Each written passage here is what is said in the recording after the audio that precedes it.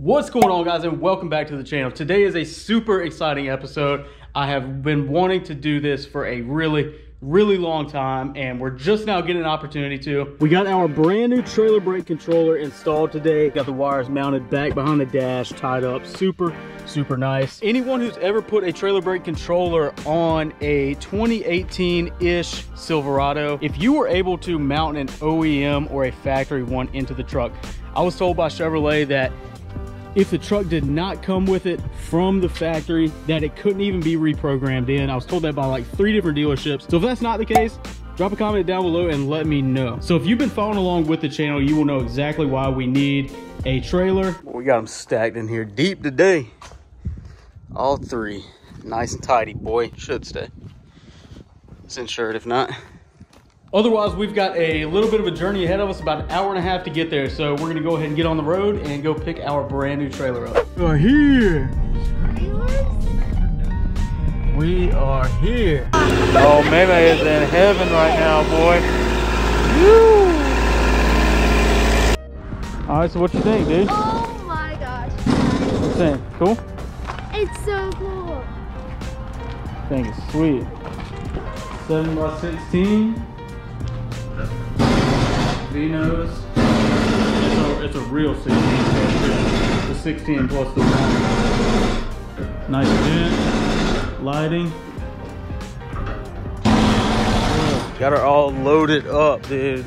This thing is so clean. 7 by 16 V-nose, drop gate.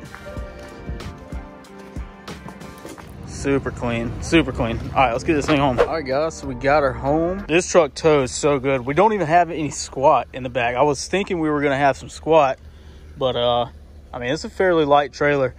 Really um really good shape. Towed really good on the way back. Had about i don't know 120 miles or so. But um yeah the, the setup in here is super super nice. I kind of wish we had the rv style handle. Might install one of those here shortly good light, man. Got so much cargo space, man. It's crazy. It's uh, literally exactly what we needed. Vent's super convenient. Got a good light up here. Connected, uh, got a switch over there. Drop gate.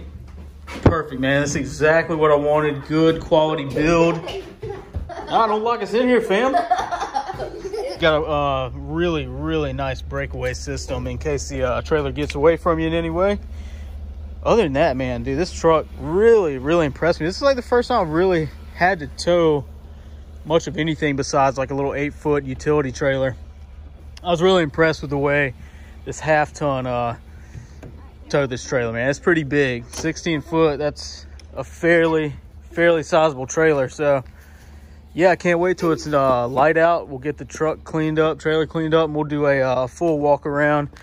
But um, otherwise, man, super, super yeah, happy with this. Finally got something to tow the toys in. So, all right, guys, so that's gonna do it for this one. Super, super happy with this. Um, stay tuned, like this video, subscribe to the channel if you want to see some more um, for this half ton truck, 16 foot trailer.